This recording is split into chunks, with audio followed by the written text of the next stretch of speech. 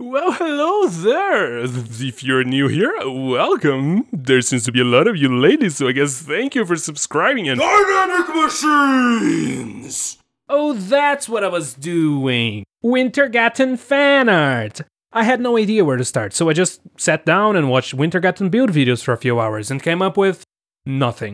I needed to include some Wintergatan memes like Wilson, the World Tour roadmap, and the phrase pain is temporary on a piece of tape somewhere. But as far as the marble loop itself, I just didn't know where to start. So in the best Wintergatan fashion, I started the project by doing the most complicated thing right away. My own single-in version of the clock escapement mechanism. It took me a few hours to figure out, but I'm a dumbass, and I forgot to record, so here's a picture of a cute dog instead.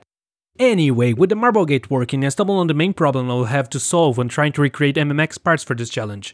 If just one single channel marble dropper takes that much space, there's no way I'm gonna fit an entire marble loop in this tiny box.